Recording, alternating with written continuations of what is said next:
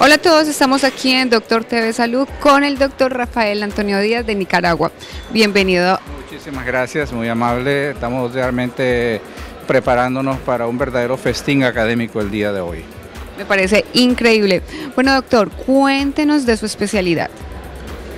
Durante los últimos 30 años he vivido involucrado y participando en el ámbito de los cuidados intensivos, del cual tuve la oportunidad de dirigir una unidad para posteriormente, ya una vez cumplido un cierto número de años, pasé, me dediqué a la parte 2 docente hasta llegar a, participar en la docencia académica superior como decano de la Facultad de Medicina de una universidad de Managua.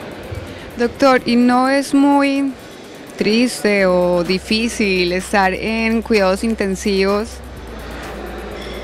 Para mí lo fue tal vez desde el punto de vista que a todos los médicos en cuidados intensivos nos afecta la fatiga, el trabajo, el estrés es muy alto, es cierto, pero cuando a uno le gusta su profesión, para mí los cuidados intensivos fueron parte de mi vocación profesional.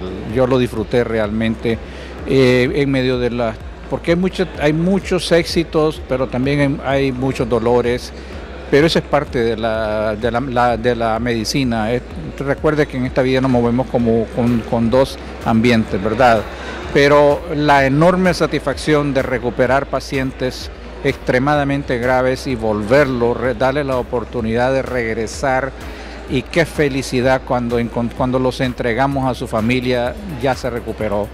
Eso sí debe ser una satisfacción muy grande y enorme porque el trabajo de ustedes es muy bonito no tiene límites para expresar, o es difícil encontrar palabras para expresar, pero no solo la felicidad de uno, sino ver las expresiones de, alegría y sobre todo también de agradecimiento eh, de la familia. Cuando una esposa recuperó a su marido, a su esposo, una madre recuperó a su hijo, un, un, un Vea, recordando una, en una ocasión tuvimos un anciano de 90 y casi 100 años y la esposa tenía también casi 100 años y la abuelita cuando logró recuperar a su esposo, ese día fue de fiesta en la, en la unidad. Fue verdadera fiesta. Doctor, muchas gracias por estar acá en Doctor TV Salud.